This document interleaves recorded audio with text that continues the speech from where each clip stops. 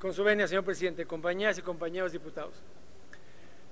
En términos jurídicos se reconoce que una legislación es imperfecta cuando la conducta señalada en la misma no tiene una sanción exacta aplicable. Y ese es uno de los muchos síntomas de nuestro modelo y sistema electoral actual. Desde el año 2000 a la fecha, el anterior IFE o INE ha impuesto multas por más de 3 mil millones de pesos a los partidos políticos derivados de faltas durante procesos electorales. Tan solo el año pasado, en el corriente ejercicio, mejor dicho, de este año, se impusieron multas por 221.715, 547 mil pesos.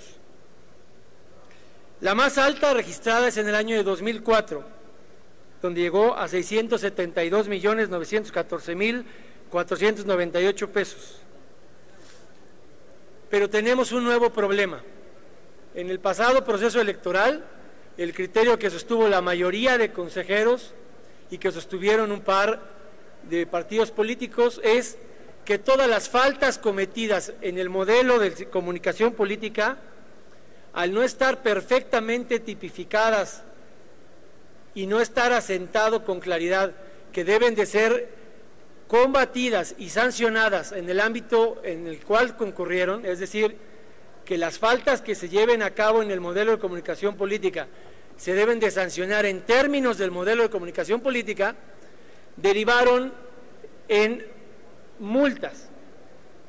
Y si bien el multar una conducta indebida es un buen mensaje, no es un mensaje suficiente, porque ha venido subiendo históricamente el saldo que impone en multas la autoridad electoral.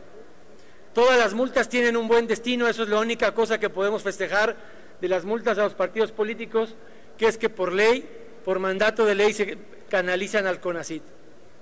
Lo que nosotros venimos a plantear es la reforma del artículo 41 y 54 para que las faltas que cometan los partidos políticos en el modelo de comunicación política se sancionen en ese ámbito competencial y espacial, con la cancelación y suspensión de las pautas originadas a través de las cuales cometieron las faltas y no solo a través de una sanción económica. Y lo queremos elevar a rango de ley para después plasmarlo en la Ley General de Instituciones y Procedimientos Electorales. No solo eso, también venimos a plantear lo que podríamos conocer como el umbral del del fair play electoral. No es ético, no es moral, no es correcto que un partido político que recibe multas por encima de su financiamiento de campaña tenga acceso a la representación proporcional. No tiene lógica política que alguien que genera más multas que el dinero con el cual compitió, alguien que en términos económicos es deficitario porque más que gastar el dinero rebasó con multas lo que le otorgaron los ciudadanos para competir? O dicho de otra forma, quien es más tramposo en su contienda que probo en el manejo del dinero público para competir, no puede ser premiado con el reparto de las curules y los escaños de representación proporcional. El estímulo a hacer trampa es un estímulo muy grande.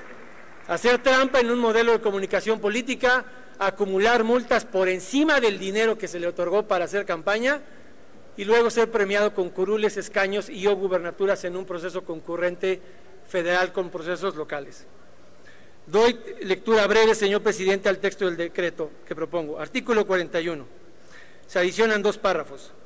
El partido que en un mismo proceso electoral hubiera acumulado sanciones económicas superiores al monto de su financiamiento público para las actividades tendientes a la obtención del voto, perderá el derecho a que le sean asignados diputados por el principio de representación proporcional durante los procesos electorales las violaciones constantes, graves o reiteradas de un partido político al estipulado en esta Constitución y a la legislación en la materia podrán ser sancionadas con la oportuna suspensión temporal o definitiva de sus pautas en radio y televisión.